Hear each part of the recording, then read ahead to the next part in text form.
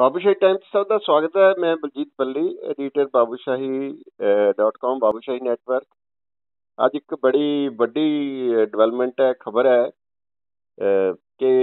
Doctor Dharamvir Gandhi ਜਿਹੜੇ ਸਾਬਕਾ MP ਨੇ ਉਹਨਾਂ ਨੇ ਇੱਕ ਬਹੁਤ ਅਹਿਮ ਐਲਾਨ ਕੀਤਾ ਹੈ ਫੈਸਲਾ ਕੀਤਾ ਹੈ।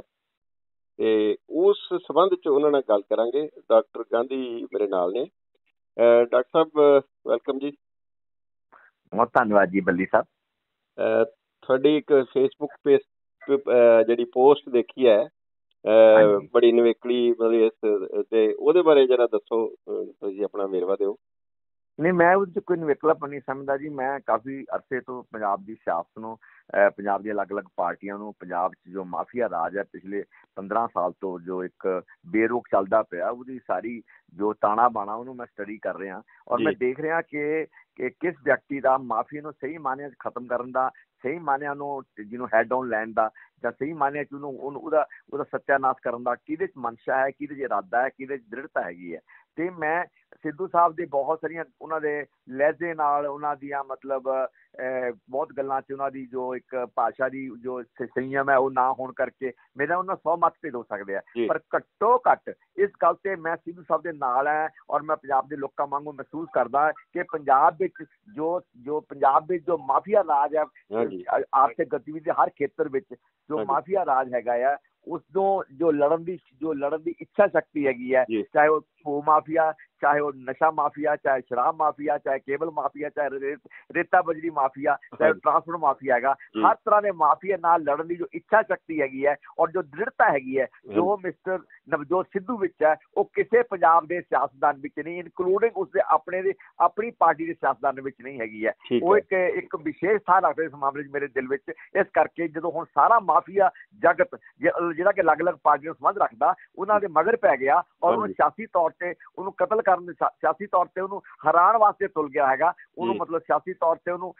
ਖੁੰਝੇ ਲਾਉਣ ਵਾਸਤੇ ਤੁਰ ਪਿਆ ਹੈਗਾ। ਤਾਂ ਮੇਰੇ ਵਰਗੇ ਬੰਦੇ ਨਾਲ ਜਿਹੜੇ ਮਾਫੀਆ ਵਿਰੋਧੀ ਨੇ ਜਿਹੜੇ ਪੰਜਾਬ ਨੂੰ ਮਾਫੀ ਦੀ ਜਗ੍ਹਾ ਮਾਫੀਆ ਦੇ ਜਕੜ ਤੋਂ ਮੁਕਤ ਦੇਖਣਾ ਚਾਹੁੰਦੇ ਨੇ ਉਹਨਾਂ ਦਾ ਫਰਜ਼ ਬਣ ਜਾਂਦਾ ਕਿ ਕੋਈ ਸਿਆਸੀ ਮਤਭੇਦ ਹੋਣ ਦੇ ਬਾਵਜੂਦ ਭਾਸ਼ਾ ਦੇ ਸੰਯਮ ਦੇ ਕੋਈ ਕੋਈ ਪ੍ਰੋਬਲਮਾਂ ਹੋਣ ਦੇ ਬਾਵਜੂਦ ਅੱਜ ਮਿਸਟਰ ਜੋ ਸਿੱਧੂ ਦੀ ਪਿੱਠ ਤੇ ਖੜਨ ਦਾ ਔਰ ਮੈਂ ਜੋ ਸਿੱਧੂ ਹੋਰਾਂ ਵਾਸਤੇ ਪ੍ਰਚਾਰ ਕਰਨ ਵਾਸਤੇ ਮੈਂ ਅੰਮ੍ਰਿਤਸਰ ਜਾਊਂਗਾ ਜੀ। ਜੀ। ਤੁਹਾਡਾ ਮਤਲਬ ਹੈ ਜਿਹੜੀ ਵੀ ਜਿਹੜੀ ਕਾਂਗਰਸ ਪਾਰਟੀ ਹੈ ਉਹਦੇ ਉਹਦਾ ਨਹੀਂ ਤੁਹਾਡਾ ਸਿਰਫ ਨਵਜੋਤ ਸਿੱਧੂ ਦਾ ਨੂੰ ਸਪੋਰਟ ਕਰ ਰਹੇ ਹੋ ਸਿਰਫ ਤੁਸੀਂ।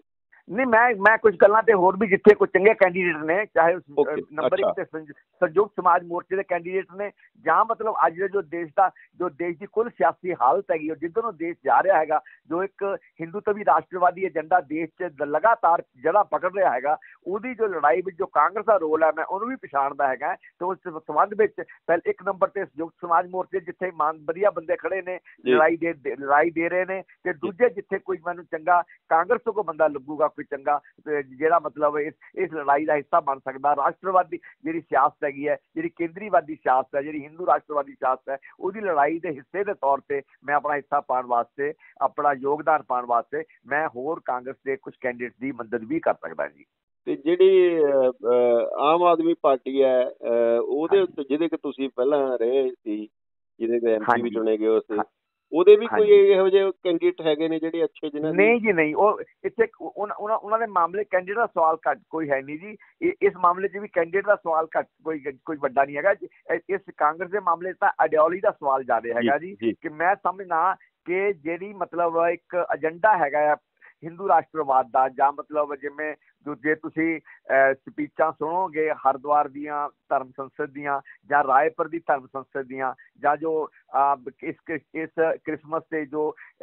ਜੋ ਈਸਾਈ ਭਾਈਚਾਰੇ ਨਾਲ ਪਟੌਦੀ ਚ ਹੋਇਆ ਜਾਂ ਅਸਾਮ ਚ ਹੋਇਆ ਹੈਗਾ ਉਹ ਸਾਰੇ ਦੇ ਸਨਮੁਖ ਮੈਂ ਸਮਝਣਾ ਹੈਗਾ ਕਿ ਜਿਹੜੀ ਮਤਲਬ ਜਿਹੜੀ ਉਹ ਵਿਚਾਰਧਾਰਾ ਨੂੰ ਜੋ ਜਿਹੜੀ ਜਿਹੜੀਆਂ ਪਾਰਟੀਆਂ ਅੱਗੇ ਵਧਾ ਰਹੀਆਂ ਜਾਂ ਉਹਦੀਆਂ ਜੜ੍ਹਾਂ ਲਾ ਰਹੀਆਂ ਪੰਜਾਬ ਵਿੱਚ ਚਾਹੇ ਉਹ ਭਾਜਪਾ ਹੈਗੀ ਹੈ ਚਾਹੇ ਭਾਜਪਾ ਦੇ ਪੁਰਾਣੇ ਆੜੀ ਹੈਗੇ ਅਕਾਲੀ ਦਲ ਵਾਲੇ ਹੈਗੇ ਆ ਚਾਹੇ ਉਹਨਾਂ ਦੇ ਨਵੇਂ ਯਾਰ ਨੇ ਕੈਪਟਨ ਅਮਰਿੰਦਰ ਸਿੰਘ ਤੇ ਢੀਂਡਸਾ ਸਾਹਿਬ ਹੈਗੇ ਆ ਚਾਹੇ ਉਹਦੇ ਲੁਕਵੇਂ ਯਾਰ ਨੇ ਅਰਵਿੰਦ ਕੇਜਰੀਵਾਲ ਐਂਡ ਪਾਰਟੀ ਇਹਨਾਂ ਸਭ ਦਾ ਮੈਂ ਵਿਰੋਧ ਕਰਦਾ ਜੀ ਔਰ ਇਹਨਾਂ ਇਹਨਾਂ ਇਹਨਾਂ ਨੂੰ ਪੰਜਾਬ ਵਿੱਚ ਜਗ੍ਹਾ ਨਹੀਂ ਲੱਗਣੀਆਂ ਚਾਹੀਦੀਆਂ ਇਹ ਮੇਰੀ ਦਿਲੀ ਇੱਛਾ ਹੈਗੀ ਜੀ।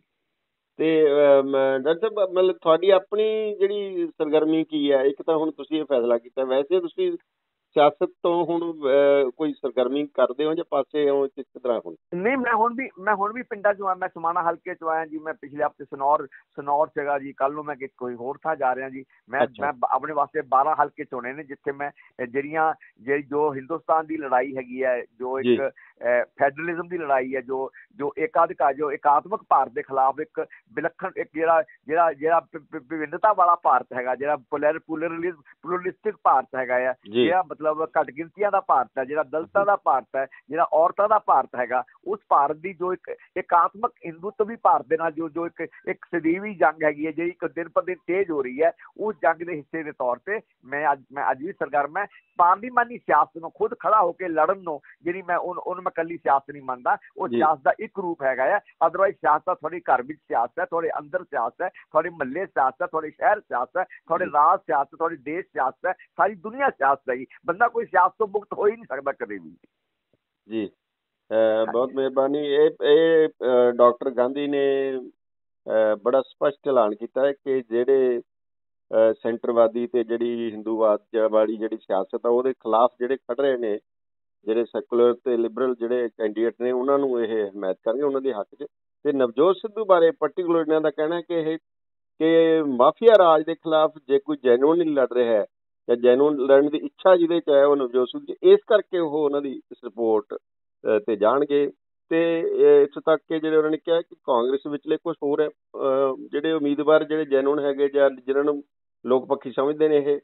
ਤੇ ਨਾਲ ਹੀ ਜਿਹੜਾ ਕਿਸਾਨ ਜਿਹੜਾ ਸਮਾਜ ਮੋਰਚਾ ਸੰਯੁਕਤ ਸਮਾਜ ਮੋਰਚਾ ਉਹਦੇ ਵੀ ਕੁਝ ਉਮੀਦਵਾਰਾਂ ਨੂੰ ਇਹ ਹਮਾਇਤ ਕਰਨਗੇ। ਬਹੁਤ ਮਿਹਰਬਾਨੀ doctor Sahib. Thank you thank you Wali sir thank